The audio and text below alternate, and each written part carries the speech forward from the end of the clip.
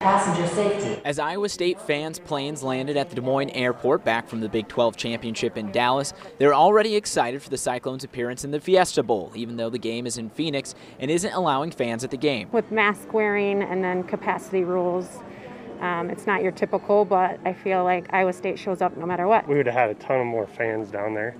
Uh, it's it's awkward that way, I guess. But one expert says some fans might just make the trip anyways. Shanna Drake with Pink Pineapple Travel Company says it could be hard for those fans to find a room with hotels operating at limited capacity, but Drake says traveling has never been cheaper and it's never been cleaner. People greet you with masks on, people greet you with hand sanitizer, your room's always clean and sterilized. Drake expects there will be more Iowa fans traveling to the Music City Bowl in Nashville, only because they're allowing 14,000 fans in to watch the game. Iowa fans, you know, diehard Iowa fans, I think that they will try to figure out how to go. But Cyclone fans still believe there will be a strong Cardinal and Gold presence in Phoenix as one of Iowa State's best seasons comes to a close. I would assume there's still going to be just as many fans that show up for a bowl game, too. I still think they'll probably travel pretty well if they can get in somewhere.